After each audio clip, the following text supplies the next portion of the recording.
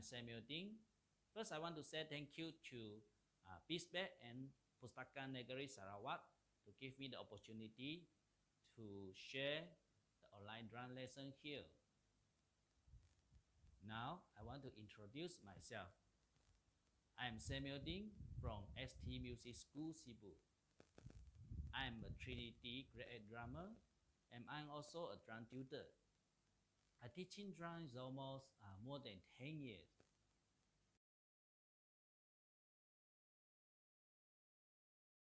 At the first, what you need to have to start to play drums? Of course, you need to have a pair of drumstick. Drumstick has so many types, have 5A, 5B, 7A, 7B normally used, and so many artist series, so many branded series. So just choose a pair drumstick that you feel comfortable to start your drum. For me, I prefer use 5A and 7A. After that, you need to have a drum set. So drum set mainly we have acoustic drum set and we also have an electronic drum set. For the people you want to play drum in your house or in your room, but you don't want to disturb your the other people, you can use electronic drum. Otherwise, you can use your acoustic drum to practice. For me, I prefer acoustic drum. So now, I introduce a standard drum kit for you. Drum, we have the bass drum, the bigger ones. These are bass drum. They give you the bass, the punchy sound. And also, we have a snare drum. And we have tone, tone tone.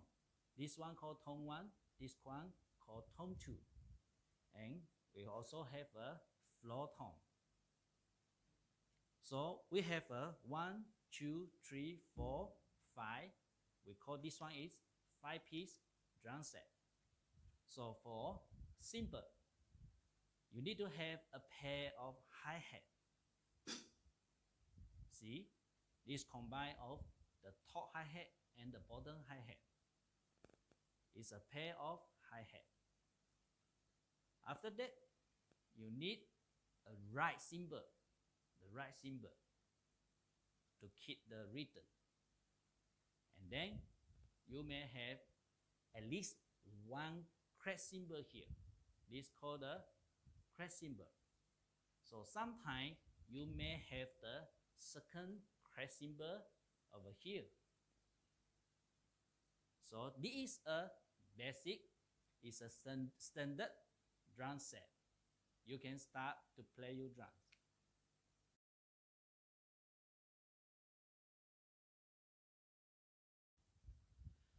So now we need to learn how to hold our drumstick. So this is a drumstick.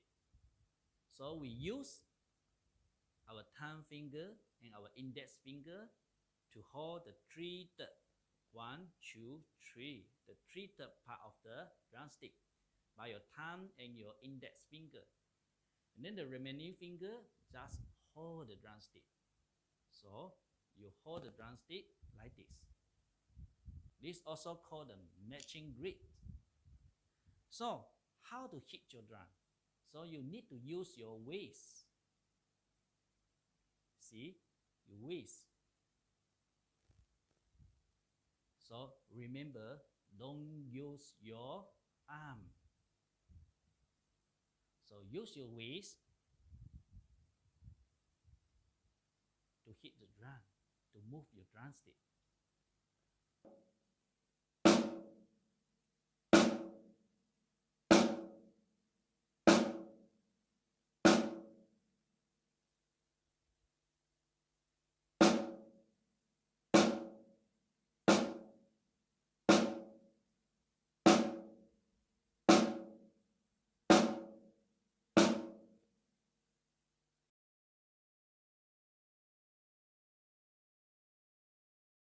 And now we talk about the time signature.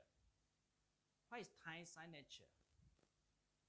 4 4 means at the top, the 4 means the number of knot. How many number of knot? And the bottom 4 means that the value of the knot. So 4 4 means in one bar you have four number of 4 knot.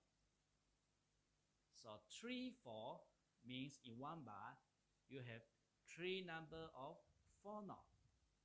Very easy actually. So 12 8 means in the one bar you have 12 number of 8 knots. This is the time signature.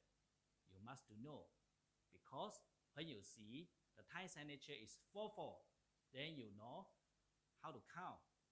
1, 2, 3, 4. 1, 2, 3, 4. If you see the time signature is 3 4, then you know how to count like this. 1, 2, 3. 1, 2, 3. And continues, continues. This time signature.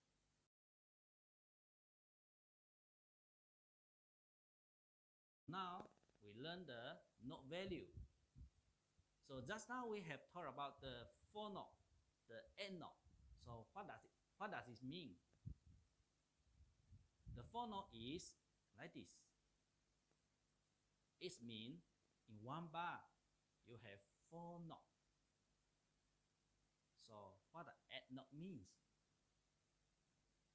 It's like this. It means in one bar you have 8 knots. And of course, we have the 16 knot. 16 knot mean, yes, you know already. In one bar, you have 16 knot. This is drum notation. Drum notation let us know when to play the drum, like when we play the hi-hat, when we play the snare drum, the bass drum. Drum tab has five lines. From the bottom to top, we call it line 1, line 2 to line 5. So, if the knot in between the line 1 to line 2 is mentioned, the best kick, the best drum. So when you see the knot between the line 1 and line 2, you kick the best drum. So line 2 between the line 2 and line 3 is floor tone. And in the middle, the line 3 to line 4 is snare drum. And line 4 to line 5 is tone 1. So where is the tone 2?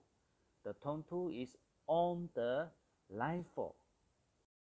From beginning, maybe you will feel very difficult to remember all the drum notation all the drum value, all the drum note. But after you keep practice, you will feel very easy to uh, read the drum sheet, read the drum tab. Then you will become a very powerful drummer because now you are very easy. You have a method to know the whole song arrangement, the drumming, the beat, the feel, the attack, and all the drumming detail. For future, if you become a drummer in a band, so you have an event, you need to play 20 songs.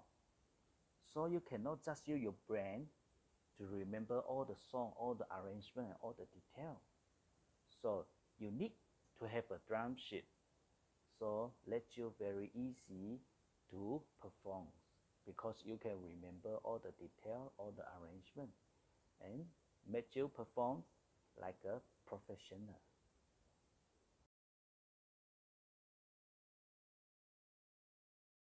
Very important. Drummer need to know how to count, how to count the beat. So if four note, for four note, four four four notes. we count like this. One, two, three, four. One, two, three, four. Okay? So, how to count if eight not? We need to count like this. So, see here. Let's start. 1 and 2 and 3 and 4 and 1 and 2 and 3 and 4 and. So now we move to 16 knot. How we count the 16 knot? So look here. So we count like this. 1 e and a 2 e and a 3 e and a 4 e and a 1 e and a 2 e and a 3 e and a 4 E N E. So now you know the counting. You can move to play your drum.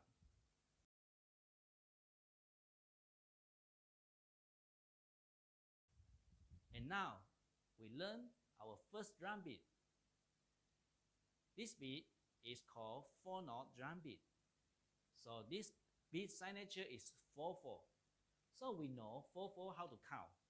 Remember one, two, three, four. One, two, three, four.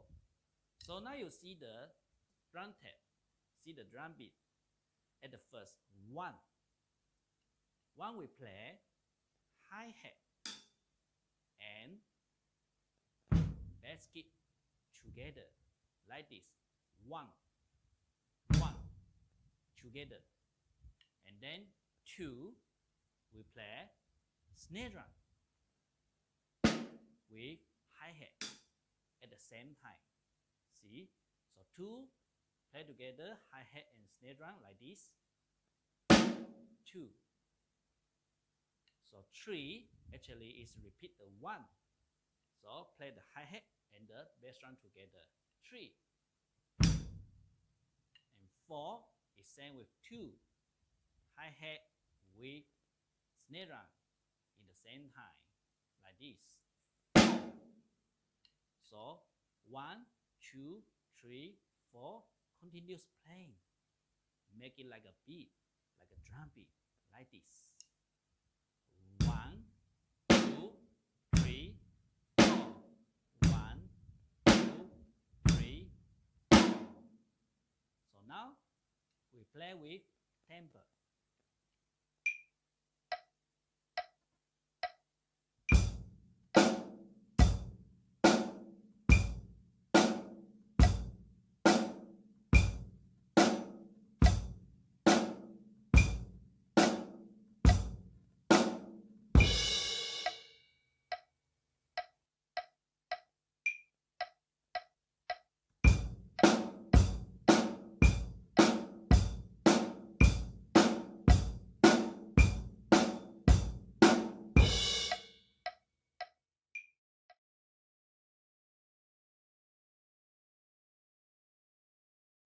And now we move to the second drum beat. Second drum beat is 8 note drum beat. See the drum beat here. You see the hi-hat part. We play the hi-hat 8 times in one bar. Means that we need to count 1 and 2 and 3 and 4 and 1 and 2 and 3 and 4 and 1 and 2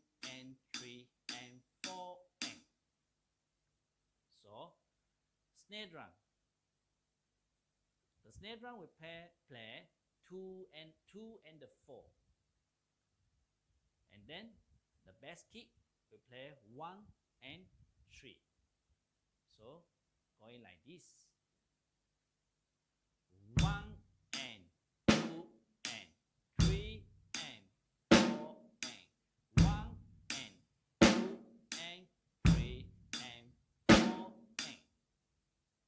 now we play with tempo.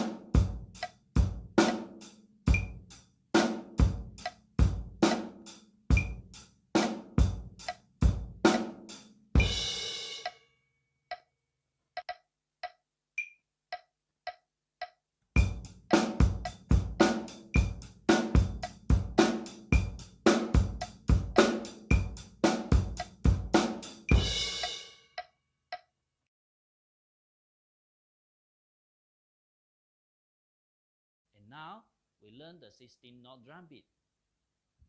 16 note. So how we count it first? Do you remember? So 16 note we count 1 E N E, 2 E N E, 3 E N E, 4 E N E. One more times. 1 E N E, 2 E N E, 3 E N E, 4 E N E.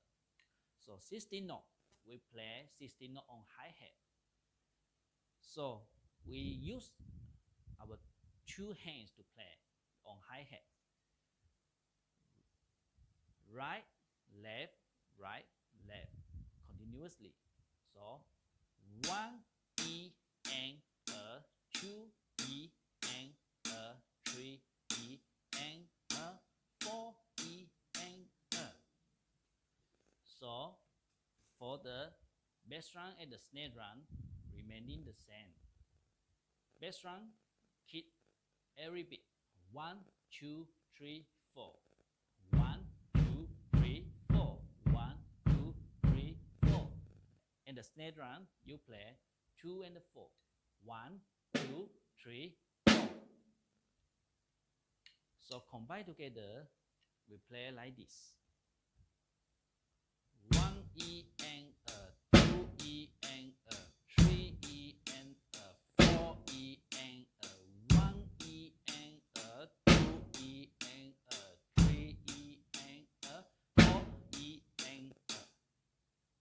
now we play with tempo.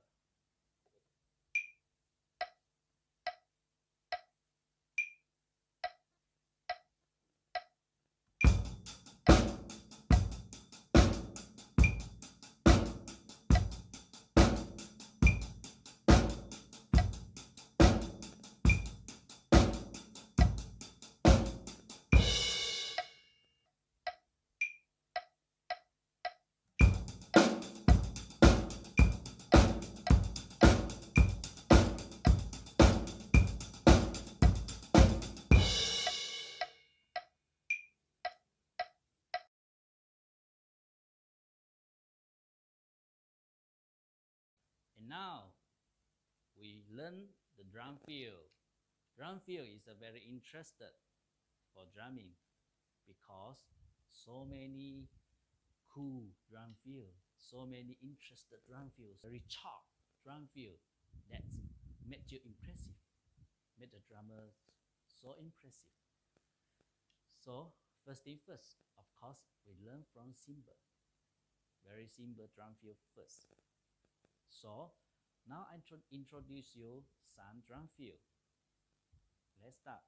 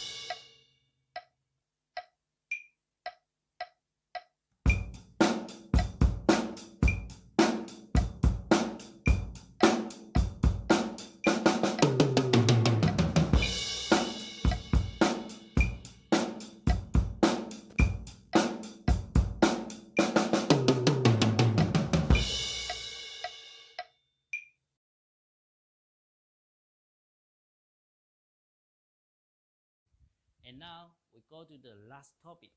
It's called rudiment. Rudiment is a very important drum technique for a drummer.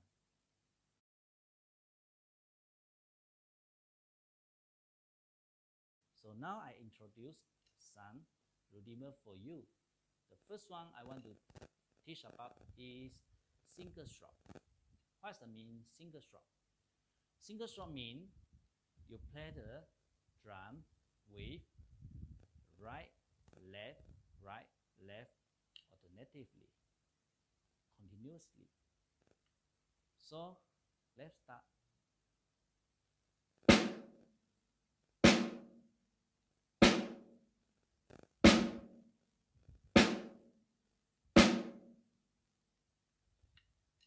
So let's play with tempo.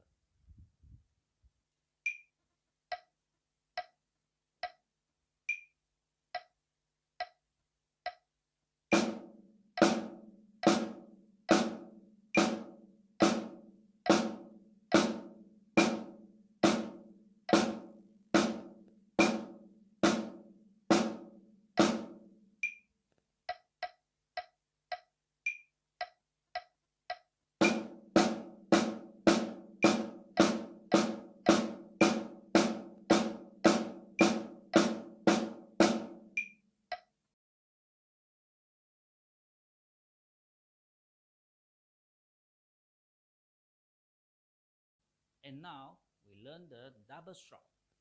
What is double stroke? Double stroke means you play the right hand two times. After that, you play your left hand two times. So, play like this.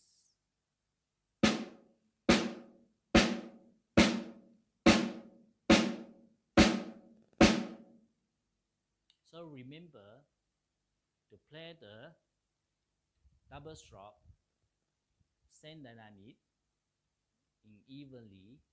Don't rush. Play we start with a slow tempo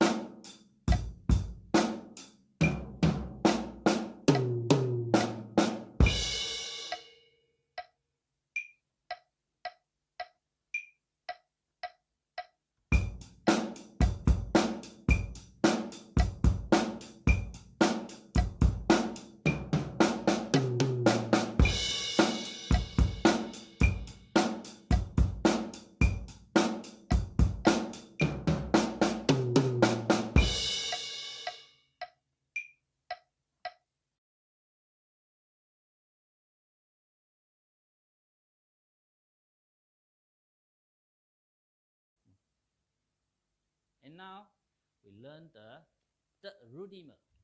The third rudiment is called paradiddle. Paradiddle is the first rudiment combine the single stroke and the double stroke together. So, paradiddle how to play is going like this. Right, left, right, right, left, right, left, left. Again, right, left, right, right, left, right, left, left.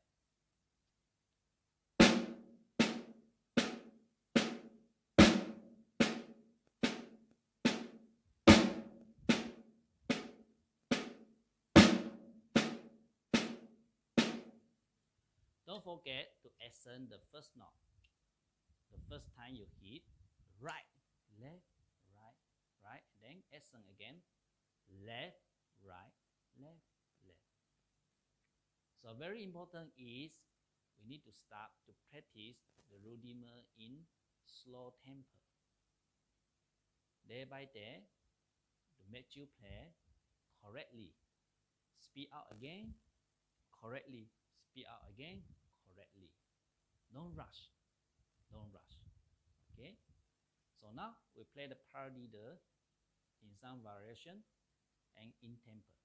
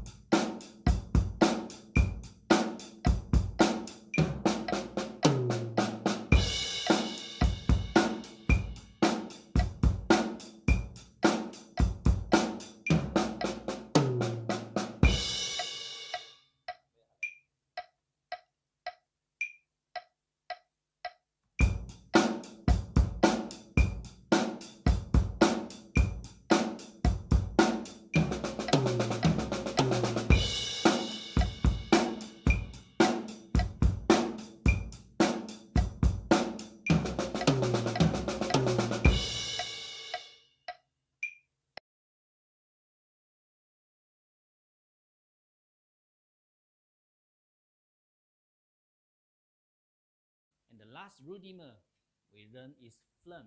What is flam? We have a look first.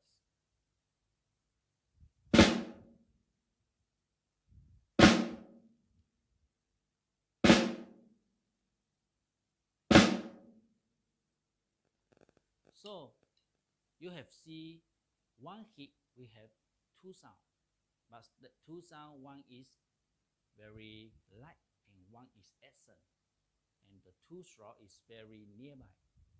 So the front is going you to have put your if you are accent in the right hand make your right hand right drumstick higher than the left drumstick like this so in slow motion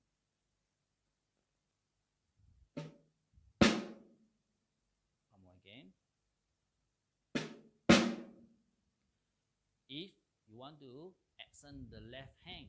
So move out your left drumstick and then going like this in slow motion.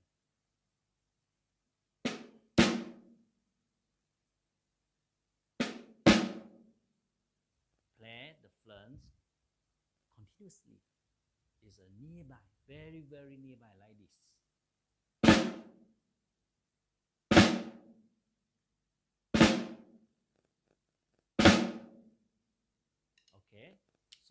let's play with temper